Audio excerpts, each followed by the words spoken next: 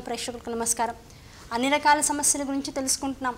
ఇంట్లో ఉండేటువంటి బంధాలు బాంధవ్యాలు చుట్టరికాల మధ్య సత్సంబంధాలు నెలకొల్పాలన్న వాళ్ళందరి మధ్య స సత్సంబంధాలతో పాటుగా సహృదయంతో కూడుకున్నటువంటి చక్కటి స్నేహభావంతో కూడుకున్నటువంటి వాతావరణం నెలకొల్పాలన్నా ఏం చేయాలి? అంటే దూరాలు పెరిగిపోతున్నాయండి మనుషుల మధ్య అని బాధపడుతూ ఉంటాం. నిత్యము విష్ణు సహస్రనామ పారాయణ చేయాలి. ఆ విష్ణు సహస్రనామ పారాయణ చేసిన తర్వాత నిత్యము కూడా విష్ణువుకి తులసిమాల గనక వేసినట్లయితే చదవక ముందు వేసినా సరే చదివే ముందు చదివాక వేసినా సరే ఎలా చేసినా సరే నిత్యము కూడా మన ఇంట్లో ఎవరితోనో మనకి మనస్పర్ధం వచ్చింది. ఆ మనస్పర్ధ మన అవతల వాళ్ళని ఎంత మార్చిందనేటువంటి తర్వాత విషయం. మనం ఎందుకన్నాం అనేటువంటి తర్వాత విషయం. కానీ అన్న విషయాన్ని ఎందుకన్నారో అర్థం చేసుకోకుండా మనసులో కోపం పెంచుకుని మనుషుల్ని దూరం చేసుకునేటువంటి ప్రవృత్తి ఎక్కువైపోయినటువంటి రోజుల్లో మంచి చెప్పినా అది విషంగానే ఉంటుంది. అటువంటి విషయము అవతల వాడు ఎక్కించుకునే కన్నా ముందు అయ్యో అనవసరంగా అనేసామా? దీనివల్ల ఏం సాధించాము? అనేటువంటిది కాస్త ఆధ్యాత్మిక దృష్టికోణంలో ఆలోచించే వాళ్ళ మనసుని ఎక్కువ బాధ పెడుతూ ఉంటుంది. అయ్యో తప్పు చేశామేమో అనుకోక్కర్లేదండి. ఎందుకంటే పిల్లల్ని అనాల్సిందే పెద్దవాళ్ళ ముందు తప్పైనా సరే వంగాల్సిందే. ఈ రెండు భావాలు ఉన్నటువంటి చోట ఆ కుటుంబం చక్కగా ఉంటుంది. పిల్లల్ని తప్పు చేసిన చోట ఖండించాలి. కాస్త గట్టిగానే ఖండించాలి. అలాగే పెద్దలు ఎంత తప్పు చేసినా సరే విమర్శించకుండా తల ఉంచేసేయాలి. అది ఎందుకంటే ఆ వయసులో ఇంకా వాళ్ళకి చెప్పినా వాళ్ళకి అర్థం కాదు. అంతకు మించి వాళ్ళ స్వభావం వాళ్ళు మార్చుకోరు.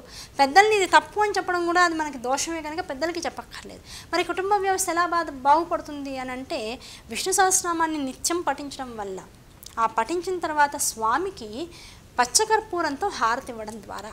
ఈ సత్సంబంధాలు అనేటువంటివి చక్కగా పునః మళ్ళీ ఏదైనా పాడైపోయి ఉంటే మళ్ళీ చక్కగా బాగుపడతాయి. పాడవకుండా జాతపడేటువంటి అవకాశం ఉంటుంది. నిత్యము కూడా పచ్చకర్పూరంతో వెంకటేశ్వర స్వామికి లేదు విష్ణువుకి లేదు విష్ణు రూపంలో ఉన్నటువంటి ఇంకే రూపమైనా మీ ఇంట్లో ఉంటే కృష్ణుడు కావచ్చు ఇంకోటి కావచ్చు ఇంకోటి కావచ్చు. ఏ రూపానికైనా సరే ఆ విష్ణు స్వరూపానికి ఆ చక్ర విష్ణు సహస్రామాన్ని చదువుకున్న తర్వాత పచ్చకర్పూరంతో కనుక హారతి ఇచ్చి ఆ హారతిని కనుక మనం అద్దుకుని ఆ పచ్చకర్పూరంతో కూడుకున్నటువంటి ప్రసాదం ఏదైనా సరే ఇప్పుడు ప్రసాదం ఇప్పుడు మనం పర్వాణం పరవాన్నం చేస్తాం. లేకపోతేనేమో కట్ట పొంగల్ చేస్తాం లేకపోతే అయ్యవారికి ఓన్లీ ఇంతకుముందు ఎపిసోడ్స్లో చెప్పుకున్నట్లుగా పానకము వడపప్పు చలిమిడి నైవేద్యం చేస్తాం ఆ పానకంలో కూడా ఇంత పచ్చకర్పూరం నుసిమి కనుక వేసినట్లయితే అది తీర్థంగా తీసుకున్నట్లయితే ఆ ఇంట్లో ఆ ఆ జీవి లోపల నుంచి వచ్చేటువంటి ప్రతి మాట కూడా అద్భుతమైనటువంటి పాజిటివ్ రేస్ని బయటికి తీసుకొచ్చి మనసును పా పాడైన వాళ్ళకి బాగుపడేలాను అసలు పాడవకుండా జాగ్రత్త పడేడాను పరిస్థితులన్నీ కూడా మారుతూ ఉంటాయి. కనుక విష్ణు సహస్రనామ పారాయణ పచ్చకర్పూరంతో హారతి పచ్చకర్పూరం కొద్దిగా వేసినటువంటి ప్రసాదం. ఈ మూడు కూడా సత్సంబంధాలు బంధువుల మధ్య చుట్టాల మధ్య ఏర్పడడానికి ఏవైనా మనస్పర్ధలు వచ్చినా అవన్నీ కూడా సమూలంగా నశించి అందరి మధ్య మళ్ళీ సహృద్భావన అనేటువంటిది నెలకొల్పబడడానికి అద్భుతమైనటువంటి రెమెడీగా చెప్పడం అనేటువంటి జరుగుతుంది. ప్రయత్నించండి.